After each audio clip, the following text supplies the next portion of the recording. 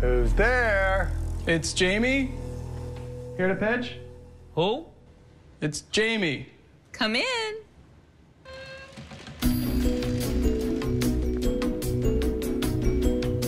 Sharks. Wouldn't it have been nice to know who was behind the door before you let me in? With my product, you can. My name is Jamie Siminoff. I'm from Los Angeles, California. My product is the Doorbot. I'm seeking $700,000 for a 10% stake in the company. Consumers are currently spending billions of dollars outfitting their homes with products that work with smartphones.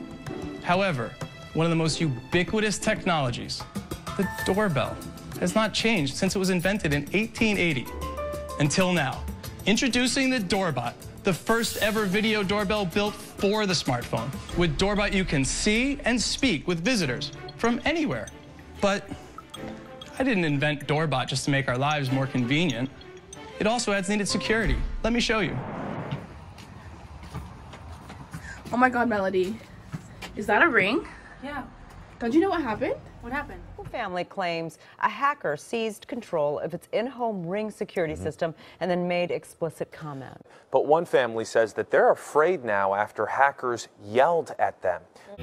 Word of a growing partnership between police and the popular doorbell company Ring is raising privacy concerns nationwide. Hey guys, today we'll be talking about the Ring doorbell scandal founded in 2012 by Jamie Siminoff in Los Angeles, California. So originally called Doorbot, the doorbell was intended for convenience purposes, which lets you see and speak with your visitors from anywhere. Introducing Ring, the world's most advanced doorbell. The Ring Video Doorbell brings convenience, monitoring, and security to your most valuable asset, your home. Ring streams HD video and audio seamlessly over wireless internet to smartphones and tablets. Ring makes it convenient to see and speak with whomever's at your front door, anytime from anywhere. Hello? Delivery for Aaron Parker? Thanks, you can leave it at the door.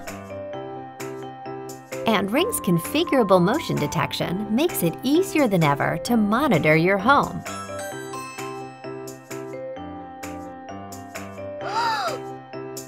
Oh, I see you, Timmy Stevenson. With so many Americans spending billions on outfitting their homes, it seemed obvious that the product would be able to take off right away, right? Wrong. Siminoff thought this and decided to pitch his idea to the investors on Shark Tank. Feeling confident, Siminoff sadly went home empty-handed. It wasn't until September 2014 when Doorbot became Ring, and it switched gears to becoming more of a guard to the American home, to protect the one place you feel most safe from the outside world. Along with a change in name and message, it changed from its bulky design to a more elegant and simple concept, most similar to an iPhone. So, in 2018, Amazon bought Ring for about 839 million. Siminoff hoped that by connecting with Amazon more that they'd accelerate their mission dramatically by connecting more neighbors globally and making their security devices and systems more affordable and accessible. So people believe otherwise, as evidence points to Amazon buying Ring to expand its line of smart home products and to deter or go after package thieves. The help of Amazon to expand the Ring company across the country created a new smartphone sheen to the doorbell. Vice says, it created a culture where it's okay for millions of people to watch not only each other. When Amazon launched its in-home security system and brought its design from outside the house to inside the house, customers started to become worried. In December of 2019, complaints started hurling in from customers of ha hackers hacking into their system and spying on the customers' every move. Good morning to you. The lawsuit says the big concern here is not just the hackers we've seen in all those videos scaring people, including children in their living rooms and bedrooms, but also the cyber stalkers allegedly using these security systems to secretly spy on people. The suit alleging Ring knew its systems were vulnerable to hackers, but failed to do anything. Those recent chilling invasions of privacy. That tree is looking really, really good, guys. Played out in home after home. Who is that? I'm your best friend. I'm Santa Claus. With hackers peering in, at times taunting residents through their ring camera systems. What's up, homie? I still see you. Now prompting a class action lawsuit. A father of three in Alabama filing the suit, accusing Ring and its owner Amazon of lax security standards. The allegation is that they had the tools at their disposal to make their system more hack proof, but they didn't do it. John Baker Orange claiming the ring camera above his garage was hacked, allowing a stranger to talk to his kids, encouraging them to get closer to the camera as they played basketball in the driveway. Ring has stated the incidents across the country were in no way related to a breach or compromise of Ring's security. Okay.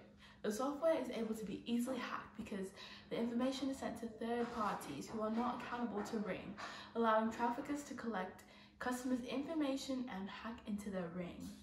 Also, software to hack into Ring is easily accessible, costing as little as $6. Hey, this isn't the only scandal that surfaced in recent months. Back in January 2019, Ring's law enforcement neighborhood patrol enabled police to see where Ring devices are located, and it made it simple for them to request footage from those devices. In Privacy Watch, the popular doorbell cameras Ring are raising privacy concerns across the country. Ring is owned by Amazon, and a new partnership called the Neighborhood Watch program has more than 400 law enforcement agencies potentially using the security footage. That means police can have access to customers' videos. Not only does this portal allow police to view Ring customers on a handy Google powered map, but it also makes requesting customer surveillance video a matter of several clicks. The portal blurs the line between corporate and government surveillance, making it unclear where the tech initiative ends and constitutional issues begin. With clear answers to all these questions, customers will simply have to trust Amazon and their local police. Oh, Why'd you get animal style fries? Everybody else has regular fries. I don't know who you think you are, but I don't, I'm not comfortable with this anymore.